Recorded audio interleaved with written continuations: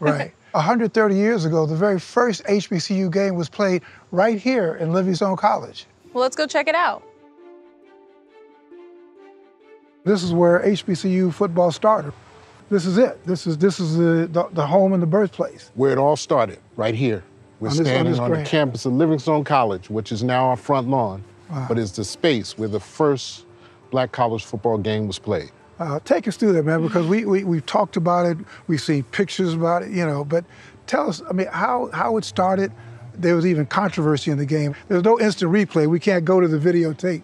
All right, I'll give you our story. Yeah, yeah, that's right. December 27th, 1892, Biddle College, which is now Johnson C. Smith University and Yeah. Livingstone College, played the first collegiate black football game right here on this lawn. It was a snowy day, a very defensive matchup. One field goal, one safety. Biddle, Johnson C. Smith was up five to nothing. It's toward the end of the game, they played two 45 minute halves. Livingstone made a good hit. The ball was jarred and it was in the end zone. A Livingstone College player falls on it. We're signaling touchdown.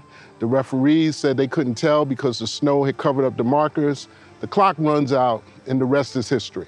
If you ask them, Right. they won five to nothing. If you ask us, we won six to five. right, right. But since we're here, We're here. you prevail. It's my story and I'm sticking to it. That's right. But there's much more to this story. At a time when African Americans in the South were dealing with the rising tide of race based violence, football became a salvation.